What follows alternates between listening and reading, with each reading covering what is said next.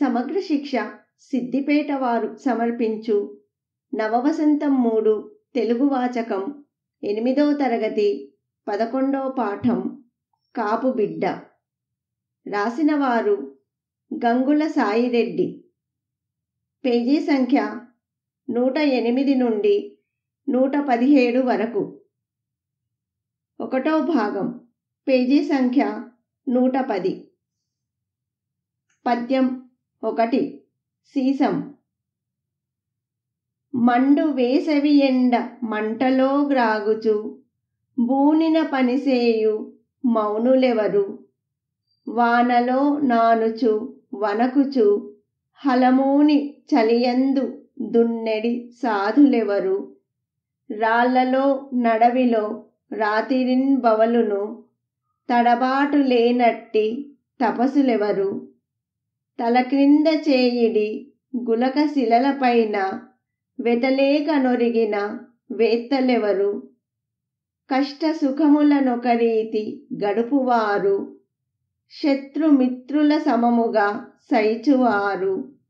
సైనికులు దప్ప నంతటి శాంతులెవరు? కాన చేమోర్చి వారినే గౌరవింతు. పేజీ సంఖ్య నూట పన్నెండు. తాత్పర్యం ఒకటి. మంటలు మండే ఎండాకాలపు ఎండలలో మగ్గిపోతూ కూడా చేపట్టిన పని కొనసాగించే ఋషులెవరు? వానలో నానుతూ చలిలో వణుకుతూ నేలను దున్నే సాధువులెవరు? రాత్రనక పగలనక రాతి నేలల్లో అడవుల్లో తడబడకుండా తిరిగే తాపసులెవరు? ఎన్ని బాధలున్నా లెక్క చేయక గులకరాతి నేల మీదనే తలకింద చేయి పెట్టుకొని విశ్రమించే విజ్ఞులెవరు? కష్ట సుఖాలను ఒకే విధంగా శత్రుమిత్రులను ఒకే మాదిరిగా సహించే శాంత స్వభావులెవరు? రైతులుగాక అందుకే చేతులు జోడించి వారికి మొక్కి గౌరవిస్తాను. పేజీ సంఖ్య నూట పది. పద్యం రెండు. సీసం. కార్చిచ్చులో వడి కంట కమ్ముల ద్రొక్కి వడగండ్ల దెబ్బల వడదువీవు పెనుగాలి చేదుమ్ము కనులందు బడుచుండ నురుము మెరుములలో నొందు నీవు. మంచుపై బడుచుండ మాపు శీతంబులో పచ్చిక నీలపై పండు దీవు. కటిక చీకటి గప్పి ఎటుదారిగానక నాకలి డప్పిచే నడలు దీవు. పేజీ సంఖ్య నూట పదకొండు. ఇన్ని ఇడుముల గుడిచి నీ విల్లు చేర నాలు పిల్లలు కూటికై యంగలార్చ. చలనమింతైన లేని యో సంయమీంద్ర. కర్షక నిన్ను చేమోర్చి గౌరవింతు. పేజీ సంఖ్య నూట పన్నెండు. తాత్పర్యం రెండు.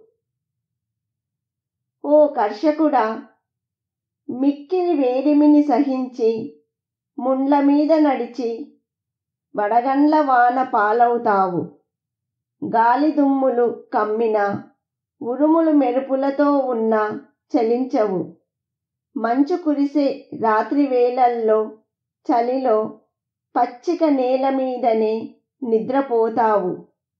ఎటూదారి కానరాని కటిక చీకటి రాత్రులలో అప్పుడప్పుడు ఆకలి దప్పికలతోనే కాలం గడపవలసి వస్తుంది. ఇన్ని కష్టాలను భరించి నీవు ఇంటికి చేరినప్పుడు భార్య పిల్లలు ఆకలితో అన్నానికై అంగలార్చగా యతీశ్వరుని వలె ఏమాత్రము చలనం లేకుండా ఉండే నీకు చేతులు జోడించి నేను నమస్కరిస్తాను. పేజీ సంఖ్య నూట పదకొండు. రెండో భాగం. పద్యం మూడు. సీసం. ఎండల వేడికి నెత్తు మేడలు లేక చెట్టుల నీడకు చేరినావు.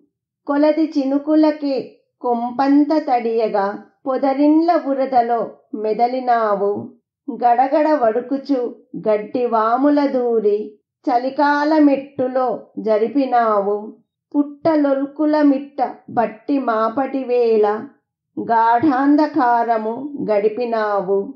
సర్పవృచ్చిక వ్యాఘ్రాది జంతువులకు నునికి పట్టగు చోట్లలో మునుల భంగి తిరిగి ఏ ప్రొద్దునుందువో దివ్యమూర్తి కర్షక చేతులెత్తినే గౌరవింతు. పేజీ సంఖ్య నూట పదమూడు. తాత్పర్యం మూడు. ఓ రైతన్న ఎత్తైన మేడలు లేని నీవు ఎండ వేడిమి నుండి కాపాడుకోవటానికి చెట్టు నీడకు చేరావు.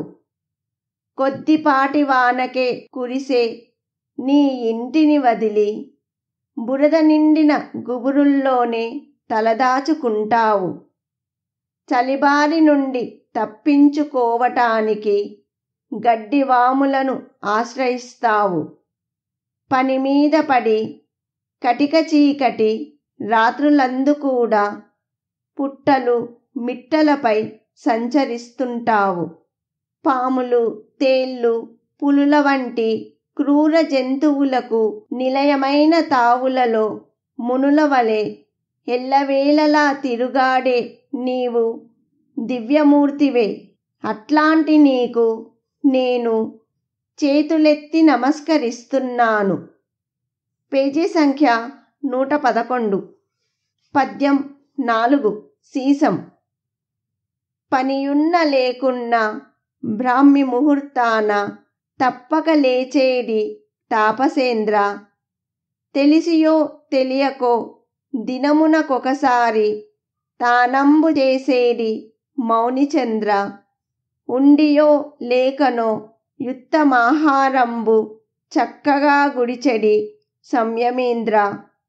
వచ్చియో రాకనో వదరుబోతువుగాక మితభాషితము సేయు యతికులేంద్ర. పేజీ సంఖ్య నూట పన్నెండు. కుటిల నటనము గర్వము కొంటెతనము వన్నె చిన్నెలు లేని సద్వర్తనుడవు. ఈగి ఎందను రాగివో యోగిచంద్ర కర్షక చేతులెత్తినే గౌరవింతు పేజీ సంఖ్య నూట పదమూడు తాత్పర్యం నాలుగు హాలికుడ పని ఉన్నా లేకున్నా నియమంగా తెల్లవారుజామున లేచే నీవు గొప్ప తాపసివే తెలిసో తెలియకనో. రోజుకొక్కసారైనా స్నానమాచరించే నీవు ముని శ్రేష్ఠునివే ఉండో లేకనో ఎల్లప్పుడూ సాత్వికాహారమే గ్రహించే నీవు ఋషీశ్వరునివే. తెలిసి తెలియని తనం వల్ల తక్కువగా మాట్లాడే స్వభావం గల నీవు యతిరాజువే. కుటిల ప్రవర్తన గర్వం కొంటె పనులు ఆడంబరాలు లేని మంచి నడవడి నీది. నీ ఒక యోగివి శ్రేష్ఠుడవు. దానగుణంపై మక్కువ గలవాడవు. ఇన్ని సుగుణాలున్న నీకు నా వందనాలు. పేజీ సంఖ్య నూట పన్నెండు. పద్యం ఐదు. సీసం.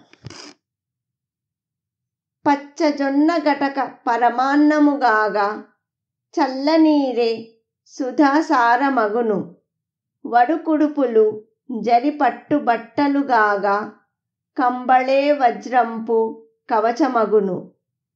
వలపలిచే కర్ర వజ్రాయుధముగాగా పరిజనమే నీకు పశువులగును. అందమౌ పైరులే నందనములుగాగా నీ ప్రొద్దు పంట నిక్షేపమగును.